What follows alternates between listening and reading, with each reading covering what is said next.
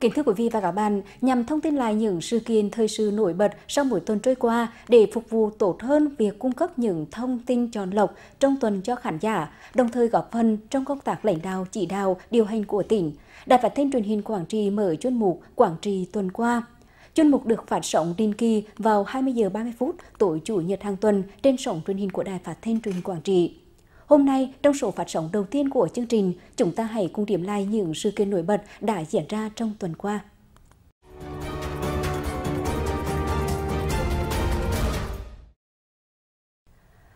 Sự kiện quan trọng đầu tiên chúng tôi xin được điểm lại là ngày 1 tháng 12 năm 2017, Ban Thường vụ tỉnh ủy triệu tập hội nghị Ban chấp hành lần thứ 12 để đánh giá tình hình thực hiện nhiệm vụ kinh tế xã hội, quốc phòng an ninh và ngân sách nhà nước năm 2017, bàn và quyết định phương hướng nhiệm vụ năm 2018 và một số nội dung quan trọng khác.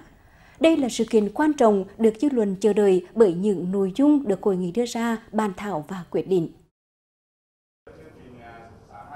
Trong lời khai mạc của Bí thư tỉnh ủy Nguyễn Văn Hùng cũng như trong dự thảo kết luận hội nghị lần thứ 12, Ban chấp hành Đảng bộ tỉnh đều khẳng định năm 2017, tình hình kinh tế xã hội, quốc phòng an ninh của tỉnh Quảng Trị đạt được nhiều kết quả quan trọng.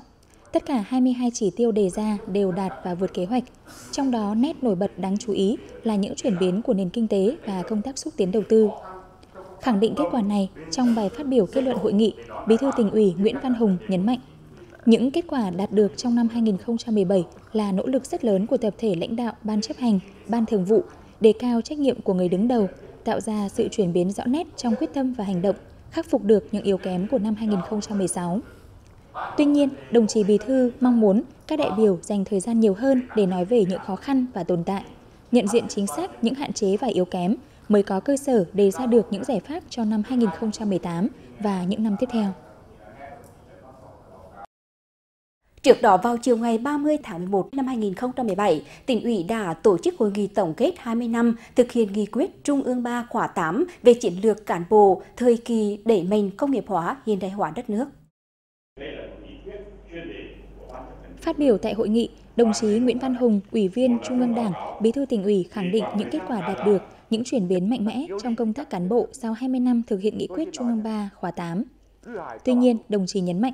mặc dù đã có nhiều chuyển biến tích cực, song việc thực hiện nghị quyết Trung ương 3 khóa 8 vẫn còn những hạn chế và khuyết điểm. So với yêu cầu, công tác cán bộ của chúng ta vẫn chưa đáp ứng, chưa yên tâm về chất lượng. Thưa quý vị và các bạn, trong phần kết thúc bài phát biểu kết luận hội nghị, người đứng đầu cấp ủy gợi ý những đại biểu tham dự hội nghị đọc tác phẩm sửa đổi lối làm việc từ khi ra đời, sửa đổi lối làm việc đã thật sự trở thành cẩm nang hết sức bổ ích, hữu dụng, góp phần nâng cao năng lực lãnh đạo và sức chiến đấu của Đảng. Gợi ý này đúng vào dịp chúng ta kỷ niệm 70 năm tác phẩm này ra đời càng thêm có ý nghĩa. Kính thưa quý vị và các bạn, cùng trong tuần, trong hai ngày 29 và 30 tháng 11 năm 2017, Ban Bí thư Trung ương Đảng tổ chức hội nghị trực tuyến toàn quốc học tập quản triệt ờ, nghị quyết Hội nghị Trung ương 6 khóa 12 của Đảng. Trong các nghị quyết kết luận của hội nghị lần thứ 6 Ban chấp hành Trung ương Đảng khóa 12 có 4 nghị quyết rất quan trọng đề cập đến nhiều vấn đề rộng lớn, hệ trọng của đất nước, vừa cơ bản vừa cấp bách và đã cụ thể hóa các nhiệm vụ trọng tâm của nghị quyết đại hội lần thứ 12 của Đảng đề ra liên quan đến đổi mới, phát triển xã hội, đổi mới hệ thống chính trị đồng bộ với đổi mới kinh tế, liên quan đến những vấn đề cơ bản về phương thức lãnh đạo của Đảng, vai trò quản lý của nhà nước và quyền làm chủ của nhân dân trong xã hội. Thưa quý vị và các bạn, với tầm quan trọng như vậy, đồng chí Võ Văn Thưởng, Ủy viên Bộ Chính trị, trưởng ban tuyên giáo Trung ương đề nghị các đồng chí dự hội nghị tập trung lắng nghe, đào sâu nghiên cứu, nắm thật chắc những nội dung cơ bản của các nghị quyết, nhất là những điểm mới, những luận điểm cốt lõi thể hiện sự phát triển về nhận thức và lý luận của Đảng. Bên cạnh việc lắng nghe, nghiên cứu, phải kiên quyết khắc phục, căn bệnh ngài học, lười học nghị quyết, nhất là tình trạng khai mạc thì đông, cuối giờ thì thưa thớt, lấy lý do công việc mà bỏ học nghị quyết, hoặc là hình thức uh, chiếu lệ không chịu suy nghĩ phân tích để hiểu rõ những điểm mới, những yêu cầu mới mà tình hình hiện nay đòi hỏi.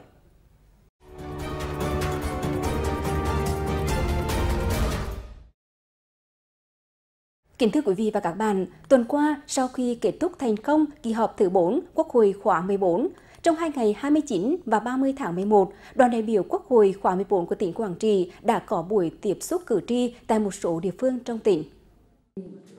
Cử tri tỉnh Quảng Trị bày tỏ sự vui mừng trước những thành tựu kinh tế xã hội của đất nước, chủ trương về việc thành lập khu kinh tế Đông Nam Quảng Trị, dự án xây dựng tuyến cao tốc Bắc Nam, trong đó có đoạn từ Cam Lộ, Quảng Trị đến La Sơn, Thừa Thiên Huế. Cử tri mong muốn các bộ ngành trung ương và địa phương quan tâm kêu gọi các nhà đầu tư, các doanh nghiệp đến với Quảng Trị để hợp tác, thúc đẩy sự phát triển kinh tế cũng như tạo việc làm cho lao động địa phương.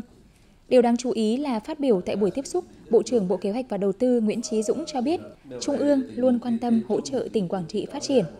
Phương án xây dựng đường cao tốc Bắc Nam đã được Quốc hội thông qua, trong đó đoạn chạy qua tỉnh Quảng Trị sẽ được làm sớm trong năm tới. Trên lĩnh vực thu hút đầu tư, tuần qua một số nhà đầu tư trong và ngoài nước tiếp tục đến Quảng Trị, tiếp xúc, tìm hiểu, tìm kiếm cơ hội đầu tư. Ngày 27 tháng 11, đồng chí Nguyễn Đức Chính, Chủ tịch Ủy ban nhân dân tỉnh có buổi làm việc với đoàn công tác của Tập đoàn Dầu khí Việt Nam và Tập đoàn Gazprom International Liên bang Nga để thảo luận về công tác chuẩn bị triển khai dự án phát triển mỏ báo vàng và nhà máy điện sử dụng khí từ mỏ báo vàng tại khu kinh tế Đông Nam, Quảng Trị.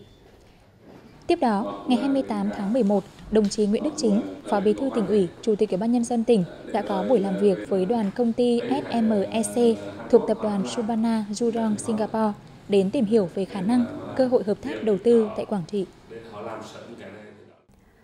Kính thưa quý vị và các bạn, vụ đông xuân đã cần kề, trước khi xuống giống một trong những khó khăn nổi lên đòi hỏi sự chỉ đạo và khắc phục khẩn trương, đó là xử lý hậu quả của bệnh lụt sọc đen và khắc phục các công trình thủy lợi bị hư hỏng.